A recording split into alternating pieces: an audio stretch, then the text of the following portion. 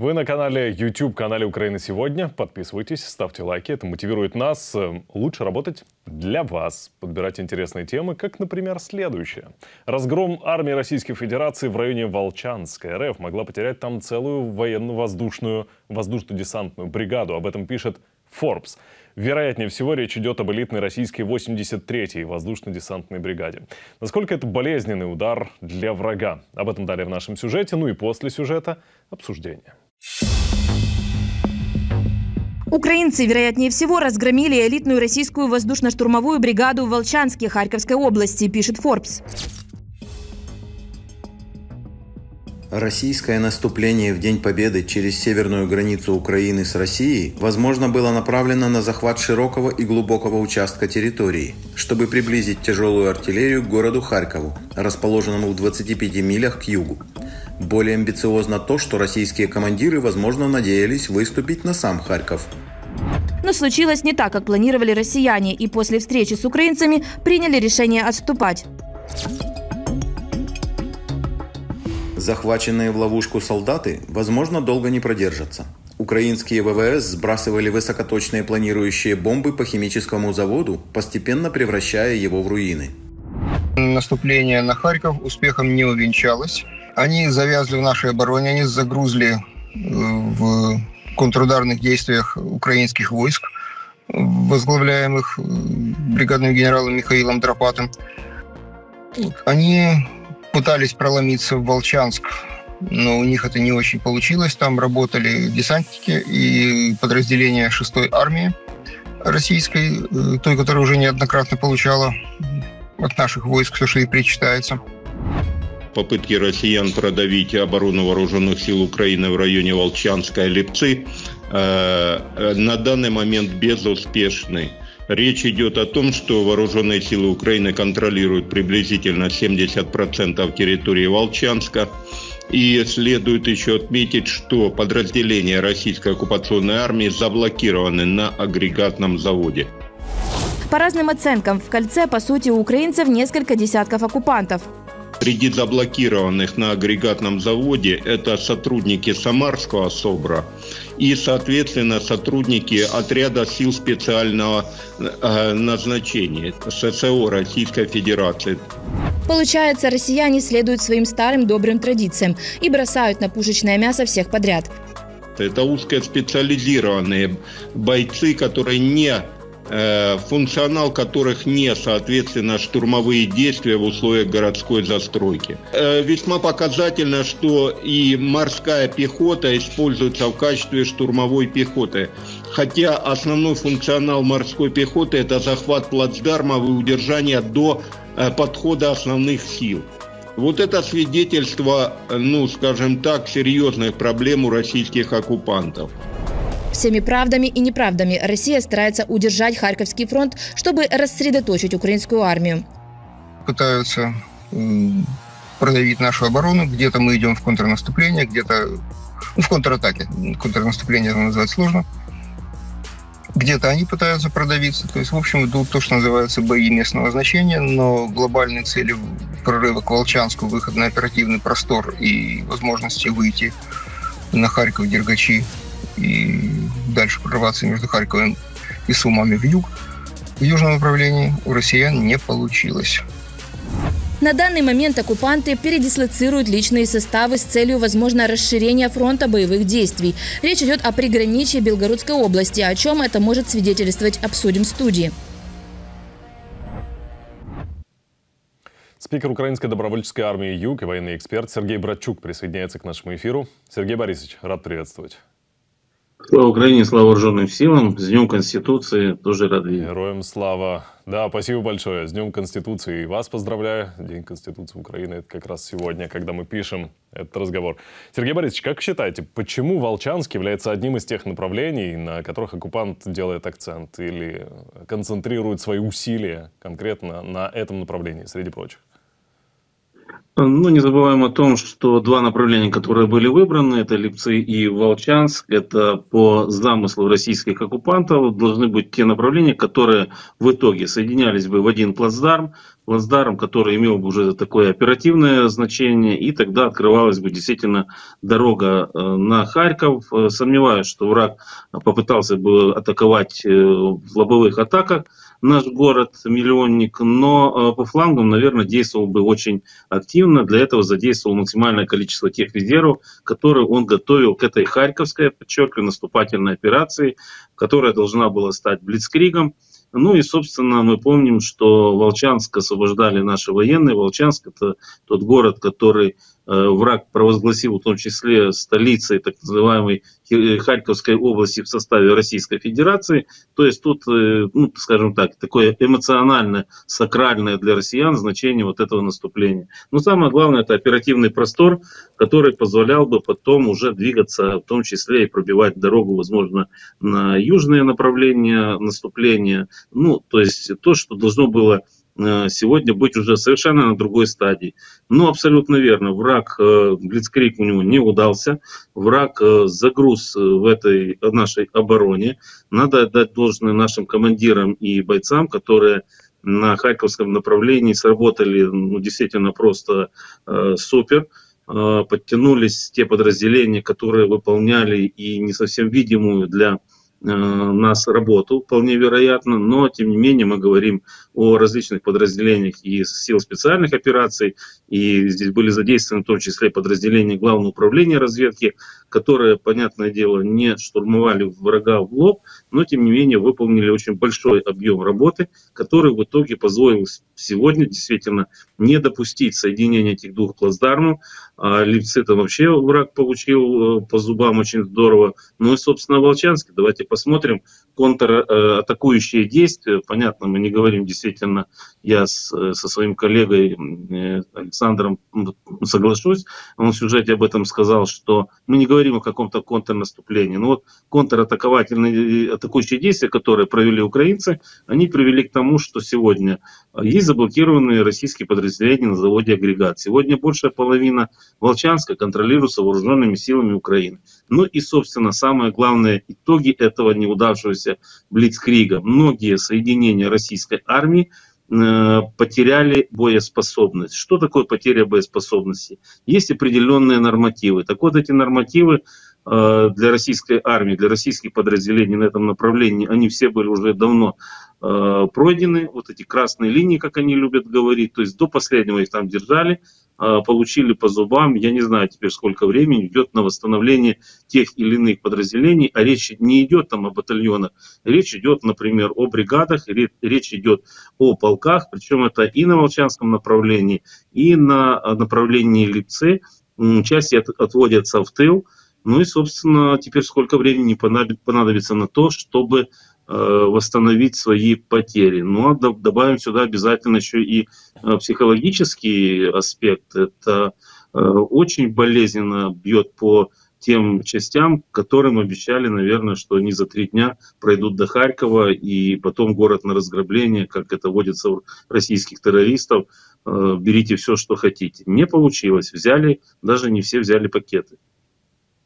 Сергей Борисович, как вы считаете, западные издания, те, которые чаще всего публикуют более-менее проверенную информацию или даже проверенную информацию, тем не менее, э, подобная публикация, согласно которой, возможно, речь идет об элитной российской 83-й воздушно-десантной бригаде, а бригада это от 3 до 5 тысяч человек, это все-таки значительные потери для армии оккупанта. Как считаете, можно ли доверять подобным данным или все-таки, ну тут, я понимаю, следует сохранять холодное, холодный мозг и горячее сердце в положительном смысле, но тем не менее, кому доверять сейчас конкретно по этой информации? Ну, я скажу так, что очень часто западные издания ссылаются на некие анонимные источники, как правило, берут эту информацию, в том числе из э, публикаций определенных э, наших экспертов, аналитиков, которые могут себе позволить э, публиковать не сильно раскрывая какие-то военные тайны, ту информацию, по которой можно сделать определенные выводы. Аналитика и аналитические умы работают с любой информацией, в том числе и с той, которая выходит официально, сухая, но очень часто здесь между строк, в том числе и в сообщении Генштаба, можно почерпнуть очень э, много полезных вещей. Я думаю, что как раз это тот случай. Э, не доверять э, изданию, с одной стороны, ну, наверное, мы не можем, хотя я довольно скептически всегда отношусь к тому, что э, дают различные институты изучения войны, потому что все очевидно, то, о чем я сказал, очень часто они используют просто ту информацию, которая выходит непосредственно от нас. Я, кстати, по этой 83-й бригаде хочу напомнить, что это не первый такой случай, когда ей влетают по зубам. Э, сегодня мы можем вспомнить, ну давайте хотя бы июль э, прошлого года, фактически год назад, Бахмутское направление. И сейчас вспомним нашу героическую и легендарную третью штурмовую бригаду, которая как раз этой 83-й дала очень хорошо по зубам, разгромив несколько их подразделений, причем, как говорится, под чистую. Нужно поднять архивные материалы и где-то вот после 10 июля это и произошло. То есть сегодня э, мы можем предполагать, что действительно эта бригада, которая э, была брошена как пожарная команда на э, Волчанское направление – противостоять вооруженным силам Украины, продвинуться вперед, э, завоевать этот плацдарм, о котором мечталось, она действительно получила по зубам. Потому что если мы говорим, а это подтвержденная информация, что украинские вооруженные силы сегодня контролируют более половины, а практически две трети территории Волчанска, плюс те заблокированные подразделения, о которых я уже сказал, то получается, что эта 83-я бригада, она действительно э, сегодня получила, ну если не в нокдауне сегодня, или не в нокауте, то в нокдауне точно. Поэтому э, такая информация, конечно, требует верификации, но то, что я знаю, это очень близко, близко к правде. Но это не дает нам, конечно, сегодня, скажем так, возможности сказать, ну все, мы победили, но это та информация, которая не может не мотивировать. Я думаю, что она приятна и тем э, бойцам, которые сражаются в наших силах обороны на этом направлении. Это всегда прекрасно звучит, когда наши ребята уничтожают действительно элиту вооруженных сил Российской Федерации. Это та десантура, которую бросали в самые горячие точки, чтобы она выручала. Теперь приходится выручать ее. Не знаю, всех ли успели. Ну да. В любом случае, в условиях огромного потока информации, который сейчас есть, э, есть действующий метод, эффективный действенный метод. Это основываться на фактах. Произошло, подтвердила украинская сторона, допустим, подтвердили мировые э, наблюдатели, да, можно от этого отталкиваться дальше обсуждать. Как, например, Минобороны подтвердила поражение российского центра космической связи в Крыму. Все подтвержденная информация. Раньше были предположения, сейчас есть больше данных, от которых, опять же, можем отталкиваться и обсуждать. Я понимаю, что это не ослепит нашего врага, не ослепит оккупантов. Но означает ли это, что размер тех шор, который сейчас закрывает глаза оккупантов, увеличивается с каждым днем? Ну, это однозначно. Я больше скажу, наверное, не открою военную тайну, точно не открою, что не обо всех случаях поражения тех или иных военных объектов э, Российской Федерации на временно оккупированных территориях или на территории самой России э, сегодня сообщается. Это абсолютно верно, потому что э, существует понятие тумана войны. Опять-таки, действительно, мы понимаем, что наш информационный век очень много зависит от информационного сопровождения той или иной боевой работы. И то, что нельзя показывать, поверьте, а, об этом мы узнаем ну, немножечко позже, чем нам бы, наверное, хотелось. В любом случае, то, что а, сегодня Украина уже может занести себе в актив, первое, Украина с помощью дронов, которые летают уже на расстоянии 2000 километров, номенклатура этих украинских а, дронов, она настолько широка, это линейка, то есть это и дроны Камикадзе, это морские дроны, если мы говорим о море, которые могут Э, доставлять БК, работать как логистика и в то же время быть э, боевым кораблем, то есть ну, меньшего размера, понятное дело, то, соответственно, Украина уже пробила так называемый ядерный щит Российской Федерации. Мы говорим о радиотехнической составляющей. Э, собственно, если вы вспомнили 40-й центр военно-космической связи, который действительно находится в Крыму, это мощнейшая база, которая строилась еще во времена Советского Союза. Э, к сожалению, не должное внимание оказывалось за годы независимости с нашей стороны, и вполне на это есть объективные причины. Россияне в этом очень хорошо помогали, чтобы оно не работало. Ну а потом, когда произошла временная оккупация нашего Крыма, то россияне вкладывали сюда большие средства, потому что это космос. И спектр этих этих работ, которые мог выполнять этот э, комплекс, этот центр, ну, просто действительно очень широк. Это и мониторинг космического пространства, наблюдение ну, буквально там за э, многими спутниками, это система связи ГЛОНАСС, это э, различные, в том числе там космические боевые э, спутники, которые сопровождают управление войсками, там, работу авиации и так далее и тому подобное. То есть спектр очень э, широкий. И вот пробили и здесь. А, насколько это ощутимо для врага? Любой минус для врага, конечно, для нас это огромный плюс. И та стратегия, которую Украина выбрала, уничтожение сначала а, вот, это, вот этого зонтика над временно оккупированным Крымом, если мы о нем говорим, от систем ПВО. Вот сегодня тоже интересная информация про Метея прошла, С-500. Дальше мы останавливаемся, действительно ждем э, верифицированной информации. Так вот, Сегодня секунду, эти секунду, системы пробиваются. Прошу прощения, что перебиваю. Э, э, ранее появилась информация, что оккупанты подтянули на территории временно оккупированного украинского полуострова как раз-таки эти системы С-500. Э, она подтвердилась? Есть подтверждение того, что они действительно там да, враг, базируются? враг подтянул. Да, это было в начале июня. И сегодня, ну, есть определенная информация. Ждем подтверждения, не спешим. Да, хочется быстрее, но мы понимаем. Так что в любом случае, Украина пробивает вот как раз этот радиотехнический, технический элемент э, российской обороны, причем как в Крыму, например, или на территории Российской Федерации. Ощутимо ли это для врага? Конечно, ощутимо. Ну и весь мир понимает, э, даже кто сомневался, что аналогов нет, не совсем аналогов нет, и к нашей борьбе присоединяются те люди, которые, ну давайте, наверное, политически, меркантильно хотели бы поучаствовать в разделении шкуры, пусть еще пока не убитого медведя. Но в любом случае они становятся нашими союзниками. Это плюс, да, это тоже для нас плюс. Поэтому э, вот такие действия сил обороны, они, конечно, и мотивируют. Еще раз хочу сказать, не обо всем сообщается, и это правильно. Сергей Борисович, еще один вопрос, если позволите, и тут исключительно ваше мнение.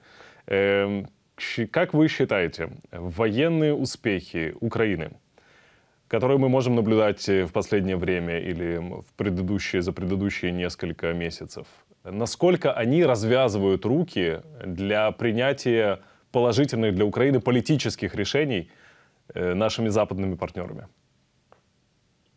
Я хотел бы, чтобы развязывались руки прежде всего для военных действий. Если мы говорим об ударах по территории Российской Федерации – потому что лозунг, что Россия не должна победить, давно уже превратился, я надеюсь, в лозунг «Украина должна победить Российскую Федерацию».